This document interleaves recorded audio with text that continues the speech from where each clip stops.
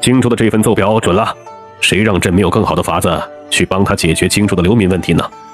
而且这些流民真到李秋那边，以李秋爱民如子的性情，朕也倒是放心呢。这些天遵照你的安排，我已经将幽州城北这片草原上的部落位置大概找了出来，守兵不多，部落中的马驹羊群倒是不少。三天后，幽州的七千大军兵分三路，罗可欣和罗良分领两千人马，按照阿珂之前探查到的地图，兵分两路对幽州城几百里内的部落进行突击。而李秋则是亲自率领两千精骑呀，直击千里之外的突厥草原腹地。最终还没到预期距离的三分之一呢，李秋就不得不下令返航了。鲍大帅，突厥撤兵了！你说什么？突厥撤军了？回禀诸位将军，确实如此，突厥撤军了。没有道理呀，他们会在这种时候选择撤军？通过之前的迹象看来，对面的突利和支师司令，明摆着就是要在攻克荆州城后才会撤军的。机密观察，看看还有没有其他动静。而就在当天下午啊，一封紧急军报送到了李靖等人的手中。幽州城守军兵分三路，对突厥草原进行袭扰，一路放火，焚烧草场数座。李秋这小子，这一手干得漂亮啊！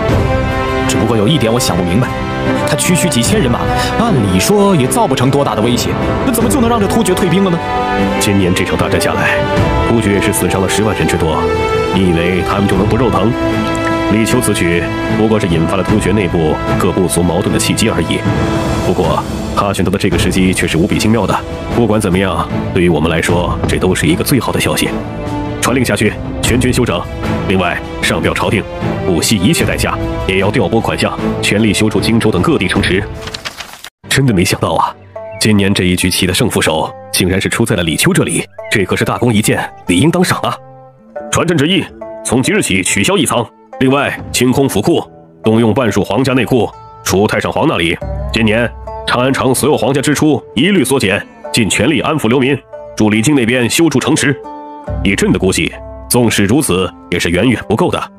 王贵、宣陵，你们还要率领朝臣继续的想办法。另一边，幽州，李秋、罗可欣、罗良此行啊，满载而归，掳回马匹三千余匹啊，羊群一千余只。就在这时啊。朝廷派往山东赈灾的钦差魏征，给他来了一封亲笔的书信。信中说，如今山东地界情况极差，甚至是已经开始有饿死的百姓出现。但是朝廷无粮，各地州县也没有粮啊。信的最后，魏征也在向李秋发问：他的十三州这里还能不能接纳流民了？下官奉我家王爷之命前来拜见大人。你们家王爷李秋的怎么说呀？回禀大人，我家王爷对于山东一带的灾民情况也是无比的关切怜悯。这次王爷派我们来，就是辅助大人将流民迁移到幽州的。好，好，好啊！李修此子，我果真是没有看错人呐。敢问大人，不知这一次山东之流民大概需要转移多少人口啊？这整个山东啊，受灾面积很大，连续两年的灾荒下来，这数十个州的百姓们都是嗷嗷待哺。要说流民呐，至少。也要有十几万之多了，不知你们十三州那边能够帮忙接纳多少？哪怕是一万、两万也是可以的。哦，魏大人，我家老爷说，若是魏大人这边真的是苦无对策，我们幽州等十三州可帮助大人接收十万流民。你说什么？